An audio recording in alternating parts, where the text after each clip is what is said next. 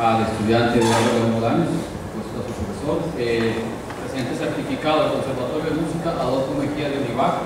destaca la participación del estudiante Eduardo León Bolaños, instrumento guitarra, en el concierto de estudiantes distinguidos del segundo semestre académico del año 2017, dado en Cartagena de Indias a los cinco días del mes de diciembre de 2017, firmado doctora Estela Barreto Álvarez, vicerrectora académica,